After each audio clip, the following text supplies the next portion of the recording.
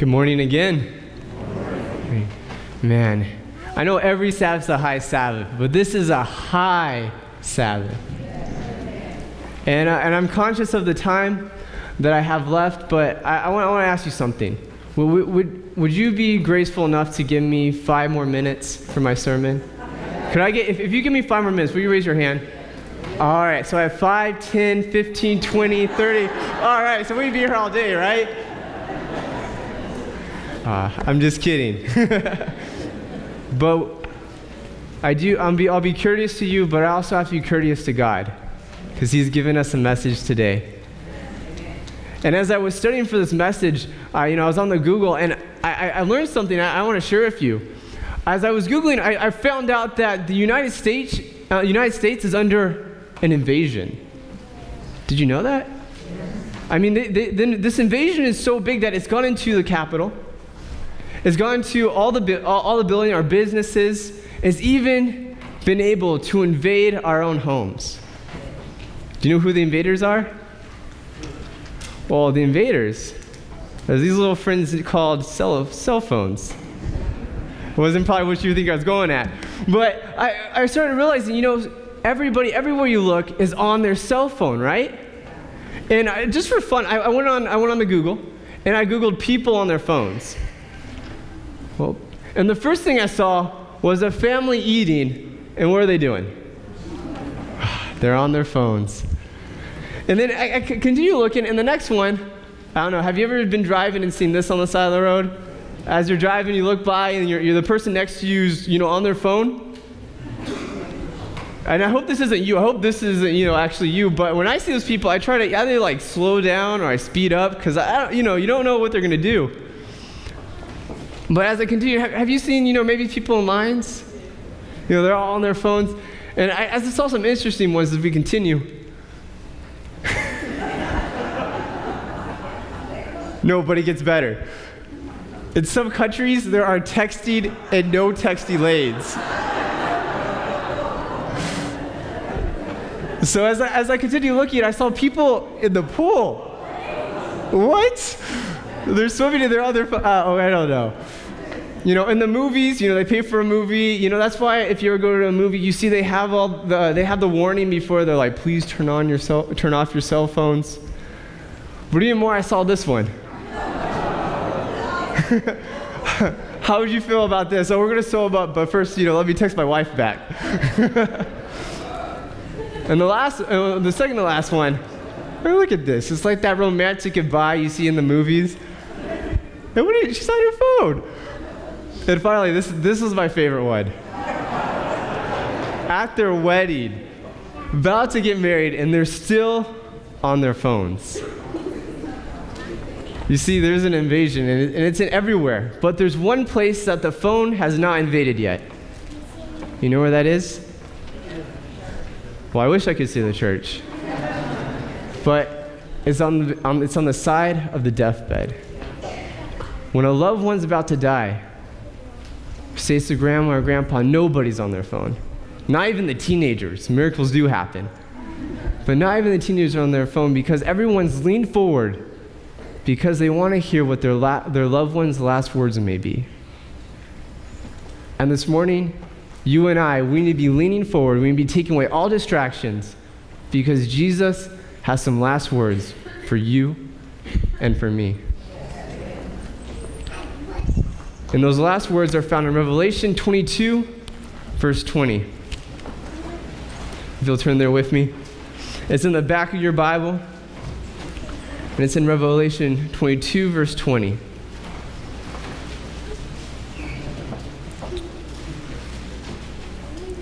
And God's word says, He who testifies to these things says, Yes, I am coming soon.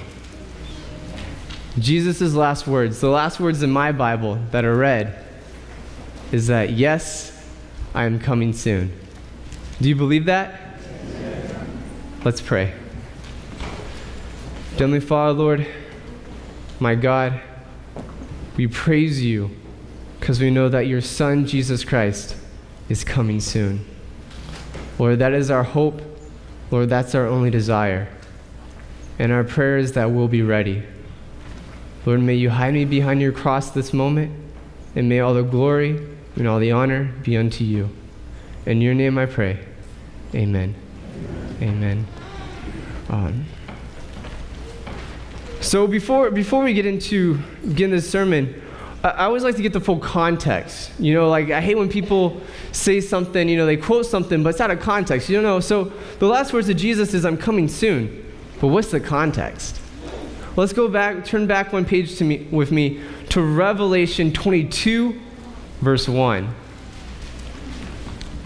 And as you're turning to Revelation 22, verse 1, which is hopefully just one page away, one flip of the page, before we get there, we have to take a moment and we need to go over a brief summary of what we've learned.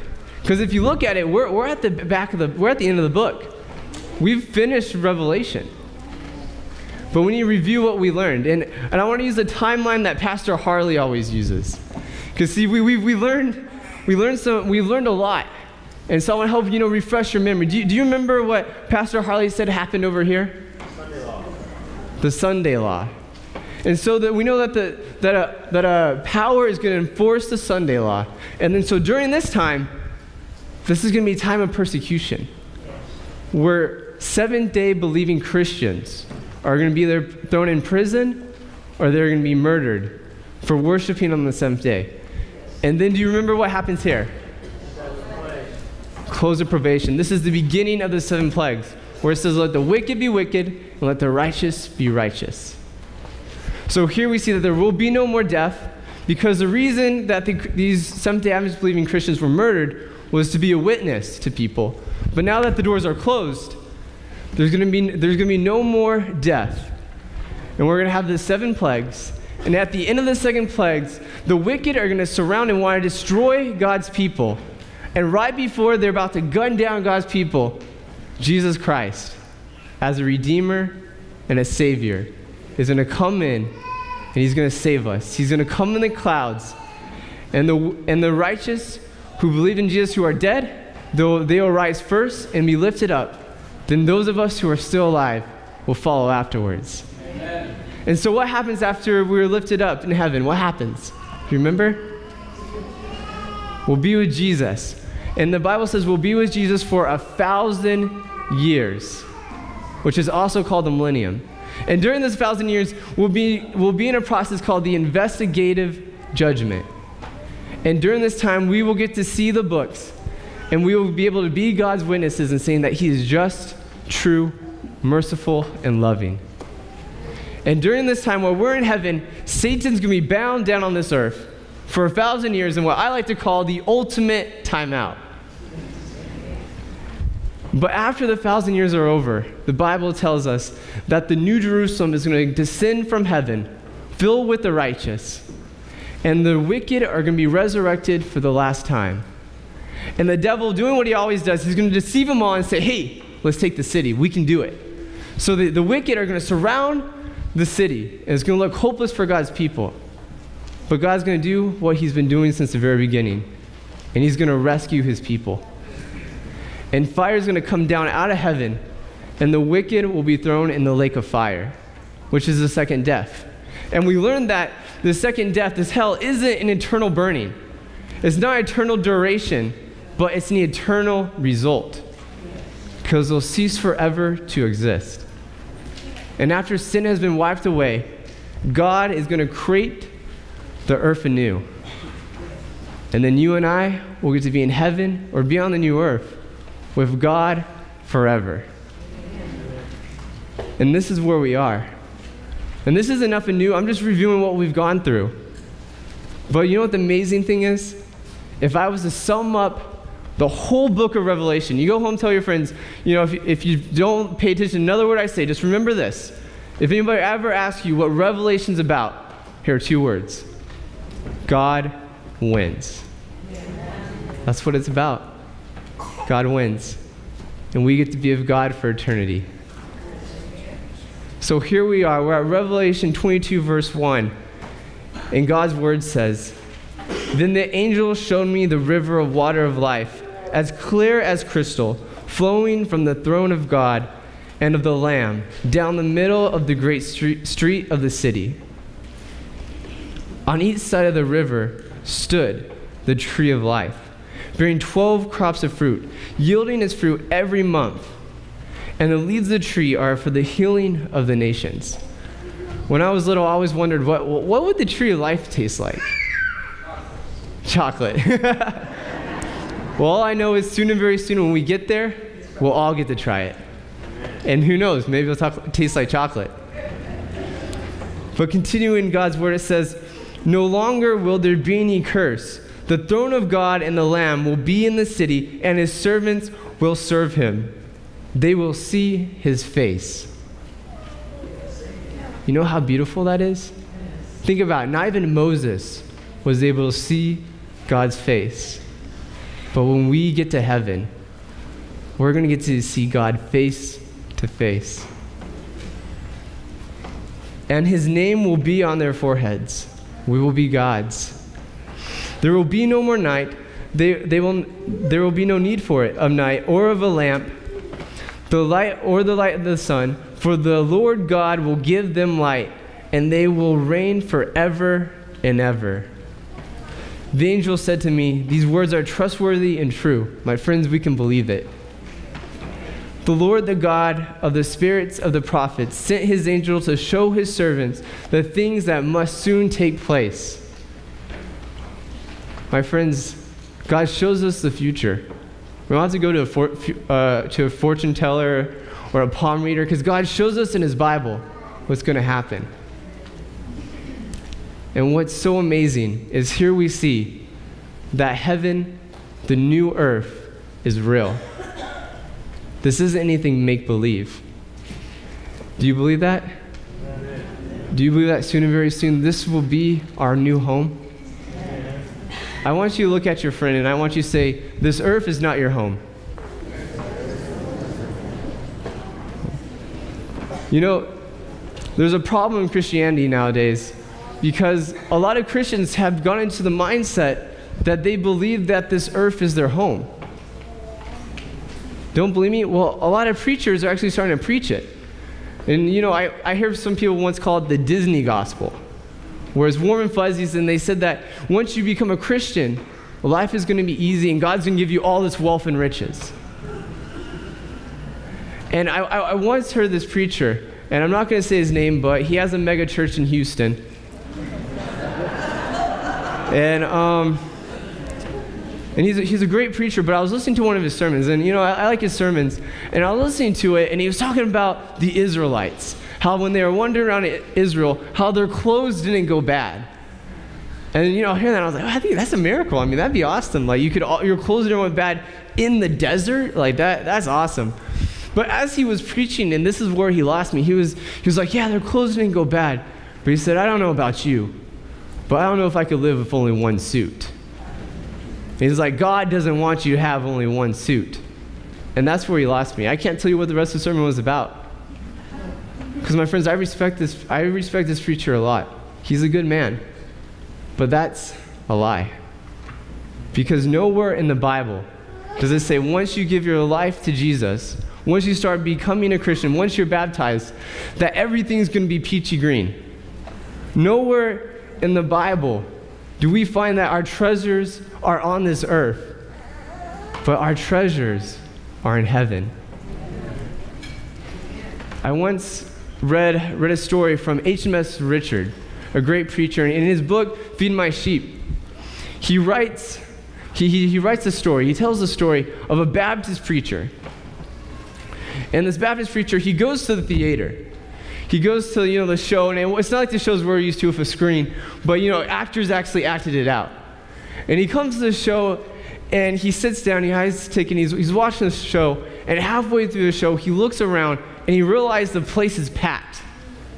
And not just packed, but it's standing room only. There's people lying all against the walls.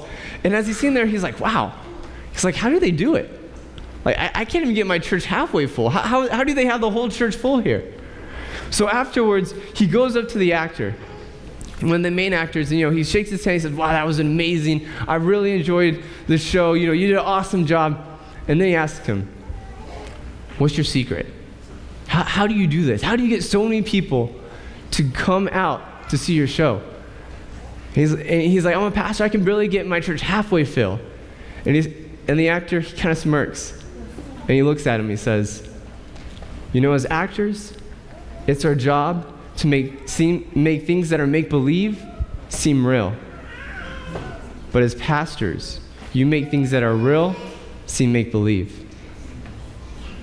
My friends, there's nothing make believe about the Bible.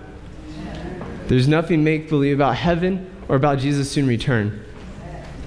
And my friends, our home is not on this earth, but our home is in heaven. And Jesus' promises for us will all be fulfilled in heaven.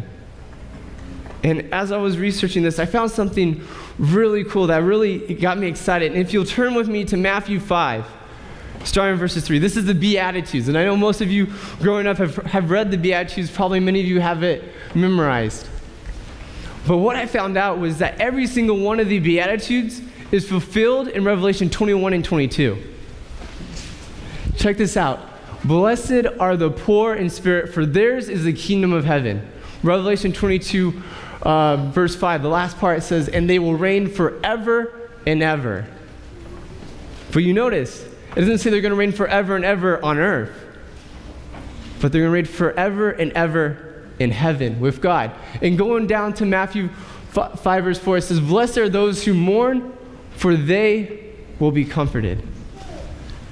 And in Revelation 21, verse 4, it says, He, which is God, will wipe away every tear from their eye.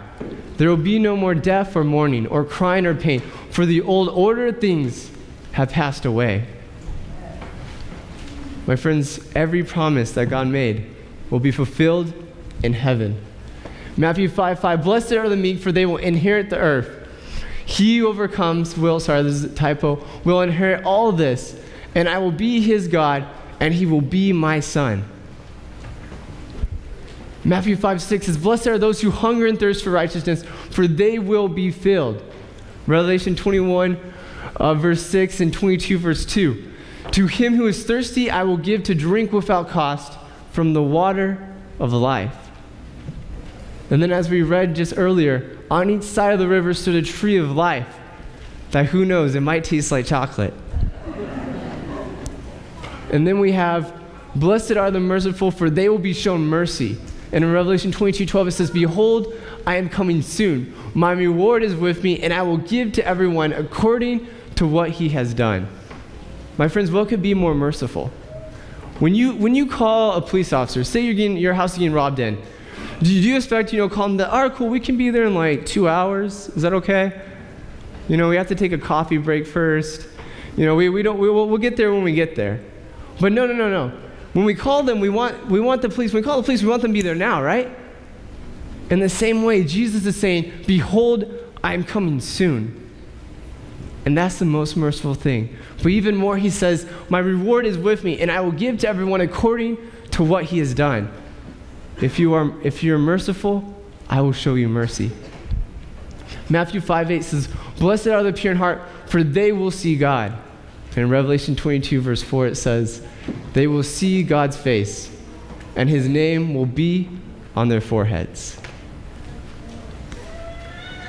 And in Matthew 5 9, it says, Blessed are the peacemakers, for they will be called sons of God. He who overcomes will inherit all this, and I'll be his God, and he will be my son. Matthew 5:10 Blessed are those who are persecuted because of righteousness for theirs is the kingdom of God. Revelation 21:7 He who overcomes will inherit all this and I will be his God and he will be my son. My friends, we will be able to inherit the kingdom of God. We'll get to be with God forever. And finally, blessed are those when people insult you, persecute you, and falsely say all kinds of evil against you because of me. Rejoice and be glad, because great is your reward in earth, in heaven. For in the same way they persecuted the prophets before you. My friends, if when Jesus, oh wow, I'm sorry, guys. My friends, thank you. My friends, when Jesus was on this earth, if he didn't have a big rich mansion, if he didn't wasn't driving a Lamborghini, how can we expect when we get how can we expect that we're going to have the same thing that we're going to have a mansion we're going to have a lamborghini? Because my friends this earth is not our home. And it's time that we start living like it. Do we take jesus at his last words? Do we truly believe that he's coming coming quickly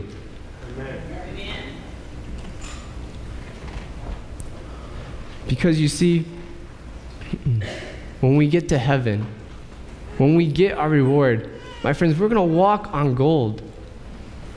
We're, the, the city, the New Jerusalem, is adorned with all kinds of precious stones. There's nothing on this earth that's worth dying for. There's nothing on this earth worth storing for. Because when we get to heaven, anything and everything we could ever want is there. But our reward isn't this nice stuff. Our reward is being able to see our best friend, our Savior, and our God, Amen. Jesus.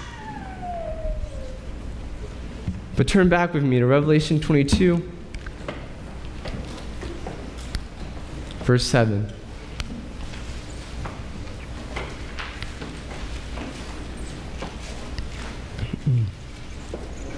And it says, Behold, I am coming soon. Blessed is he who keeps the words of the prophecy in this book. My friends, it's not enough just to read the Bible, but we have to do what it says. Verse 8 says, I, John, am the one who heard and saw these things. And when I heard and seen them, I fell down to worship at the feet of the angel who had been showing them to me. But he said to me, Do not do that. Not, do not do it. I am a fellow servant with you and with your brothers and the prophets and all who keep the words of this book. Worship God. My friends, throughout Revelation, there's a theme worship God. Are we worshiping God in everything we do? My friends, if Jesus' last words is that I am coming soon, my friends, we need to begin living like it's true. We need to begin living like we believe it and everything we do needs to glorify God. So that if there's anything in our lives that is distracting us from God, we need to take it away. Because, my friends, this world is not our home. But let's keep reading. Verse 10 it says, Then he told me, Do not seal up the word of this prophecy or this book, because the time is near. Let him who does wrong continue to do wrong. Let him who is vile continue to be vile. Let him who, is, who does right continue to do right and let him who is holy continue to be holy. In verse 12, it says, Behold, I am coming soon. My reward is with me, and I will give to everyone according to what he has done. I'm the Alpha and the Omega, the first and the last, the beginning and the end. Amen. My friends, Jesus is coming soon. And be, but before we read verse 14, I want to give you a warning. This is the verse that many people have used to prove that the Bible is wrong. And I'll show you why in a second. Because in mine, I'm reading from the NIV, it says, Blessed are those who wash their robes. Does anybody here have a King James? What does yours say? Blessed are those who keep the commandments? Hmm. I've had someone actually come up with this verse, bring it to me, and say, Austin, Austin, the Bible can't be true. look at this verse. There's keep the commandments and wash the robes. And in English, those are two totally different, right? Like you're thinking, how did they get that out of that? But we got to remember that the Bible was written in Greek. And the, and the word, and the, the sentence for washed in their robes and for keeping his commandments sound a lot alike in Greek. Now, I don't like to use Greek that much, but I want to show you here. I want you to close your eyes with me, and I want you to hear this. Because, hear this, because this is how close they sound in Greek. The first one is hoi pulantis tastolos. And for those who do his commandments, it's hoi poiantis tas. And what you have to remember is the way people, there's two ways that people copy the Bible. The first one is there'd be a group of scribes, and they'd have one person who was reading it. And as the person would read it, the scribes would copy it. So you see how close this would sound. So someone's like, keep his commandments or wash his robes. Uh, we're going to go with this one. But you see, there was a second way. And the second way is that they would have a parchment. So they'd have the Bible here and they copy a lot like how you do in school, you know, when you're copying. And I, I want to show you something because it, cause it was written in Greek. And all Greek was written in capital letters. So look at this. Work. Oh. Sorry.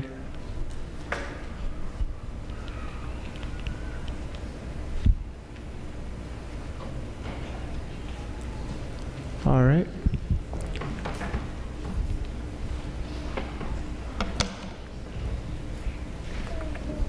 Oh, technical difficulties. Oh, it's all good. Well, what I was going to show you, oh, there it is. Oh, thank you guys. What I was going to show you is this what it looks like in Greek. So can you imagine you're writing it and the lamp is really dim and you have this sentence and you've been doing this all day. I mean, you're towards the end of the book. How easy would it be to write the other? right? And so people say, look at this. Because of this, we can't trust the Bible because look at this error. My friends, you can trust the Bible. Because watch, even with this error, even with this, even with this error, this typo from a human scribe, God is so powerful that He's like, oh, you messed up? That's okay. Watch this. Because even though they're two different, totally two different sentences, they have the exact same meaning. Let's think about it. Let's, let's think about this together. Wash your robes. You're like, wash your robes to keep the commands. That's two totally different things. Well, think about it. wash your robes. What would, you, what would the saints wash their robes in? Water, blood, blood of the Lamb? Who's the Lamb? Jesus Christ. So, what does it mean to wash your robes in the blood of the Lamb? It means to accept Him, to follow Him as your Lord and Savior, and say, Jesus, I accept your free gift. Take me as I am and cover me with your robe of righteousness. And so, to accept this gift, you have to love Him, right? And if you love Jesus, the Bible says, if you love me, you will keep my commandments. Did you guys see that? Look how amazing this is. God's like, you know what? Even if a human scribe makes a mistake, I am so powerful, so amazing that it doesn't matter. Because they have the exact same meaning. And my friends, here we see that there, that here we see that there's one, two groups of people. And the first one, verse 14, says, Blessed are those who wash their robes, that they may have the right to the tree of life and may go through the gates into the city. So for those who love Jesus and keep his commandments, They'll be able to eat from the tree of life, and they'll be able to go through the gates of the city. But then there's another group. Verse 15 Outside are the dogs, those who practice magic arts, the sexual immoral, the murderers, the adulterers, and everyone who loves and practices falsehood. So here we see that there's two groups of people. And as we look at this group, it's so easy to think, oh man, you know, that's, that's a small list. You know, I, I haven't murdered anybody. I don't have an idol. You know, I'm not, I'm not there. Well, if you go to 1 Corinthians chapter 6, 1 Corinthians chapter 6.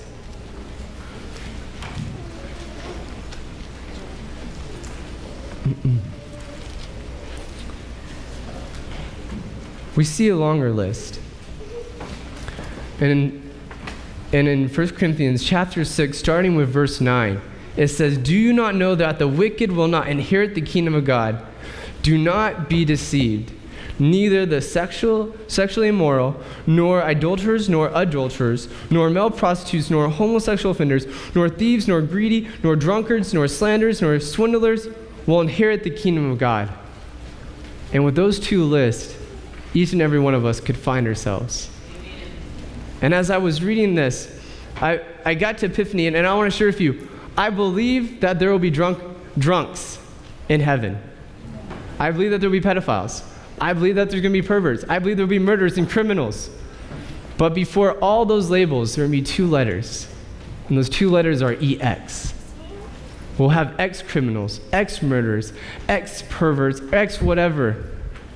Because you see, continue reading, it says, will not inherit the kingdom of God, and that is what some of you were. My friends, praise the Lord that God's grace is enough.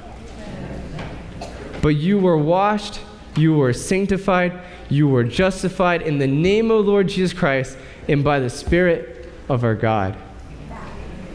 My friends, it doesn't matter who you are, what you've done. Jesus' gift is enough for you. And once you accept his gift, it will transform your life. Once you've experienced Jesus' love, it will transform who you are. It will change everything.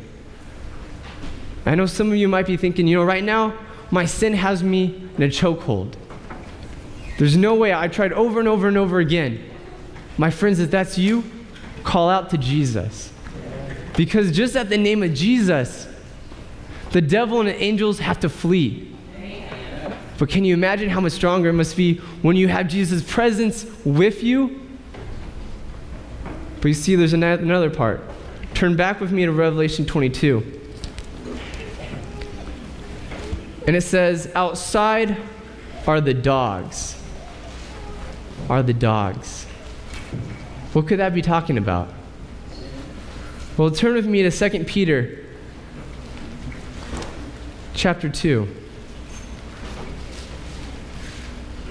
2 Peter chapter 2 verses 20 to 22. And it says, If they have escaped the corruption of the world by knowing our Lord and Savior Jesus Christ and are again entangled in it and, over, and, and overcome, they are worse off at the end than they were at the beginning.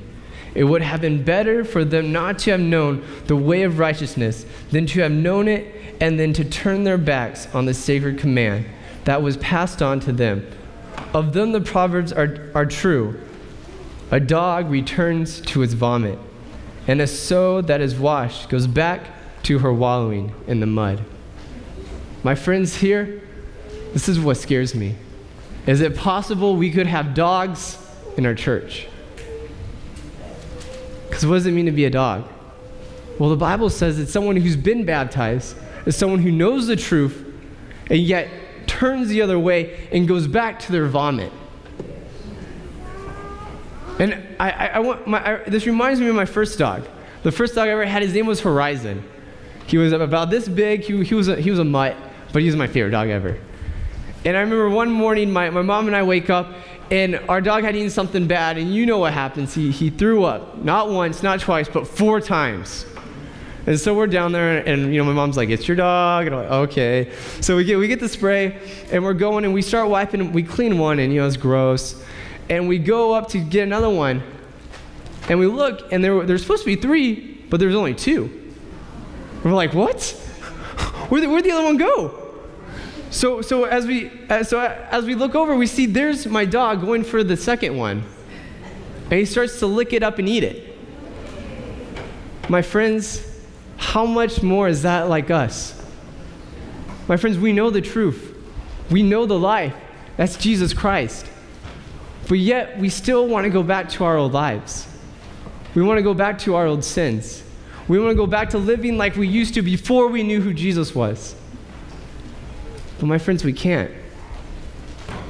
My friends, the only way to keep that from happening, to keep us from being dogs, is to continuously be in a relationship with Jesus Christ.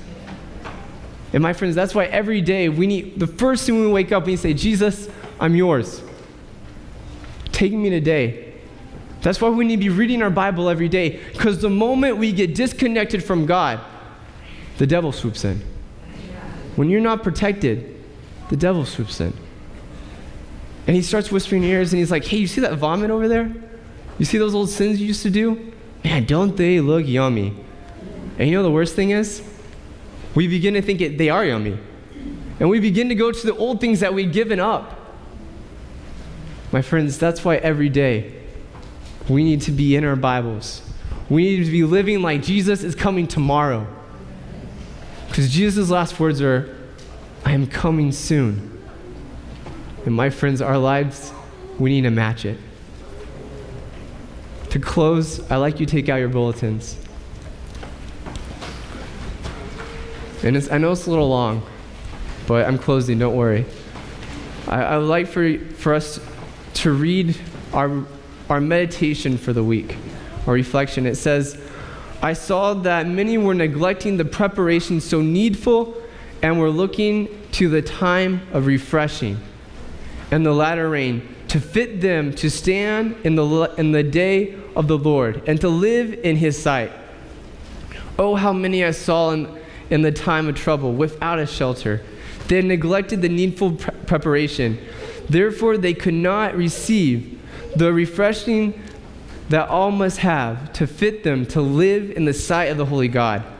Those who refuse to be to be hewed by the prophets and fail to be purify their souls in obeying the whole truth and who are willing to believe that their condition is far better than it really is will come up to the time of the falling of the plagues and then see that they needed to be hewed and squared for the building.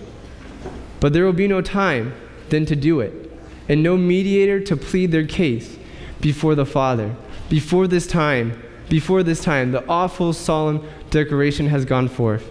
He that is unjust, let him be unjust still.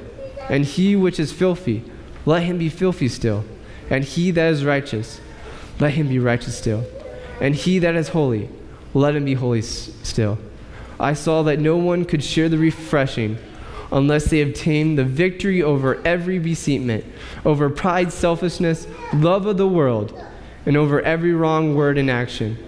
We should therefore be drawing nearer and nearer to the Lord and be earnestly seeking that preparation necessary to enable us to stand in the battle in that day of the Lord. Let all remember that God is holy and that none but holy beings can dwell in his presence. My friends, today is the day to prepare for Jesus' soon return. May there be nothing that keeps us apart. And may we take Jesus at his last words. So, my appeal for you today is a simple one. If you, my appeal for you today is a simple one. If you're willing, I'd ask for you to raise your hand. And that is if this week you'll, you'll make the stand to read your Bible every day and to pray continuously. Pray in the morning, pray at work, and let prayer be the last thing you do. Because my family, I don't want to go to heaven without you. And we all need to be working daily, making sure we are right with the Lord. So, my friends, if you are willing to take my challenge, I invite you just to raise your hand, that you'll pray every day, and that you'll read your Bible. And with that, let's have a word of prayer. Lord my God, my Savior, my King, Lord, we know that Jesus is coming soon. My one prayer is that each and every one of us will be ready, Lord. Lord, thank you for your love. Thank you for the gift of your Son. And Lord, may we walk in your grace every moment of our life. This is my prayer. In your name I pray. Amen.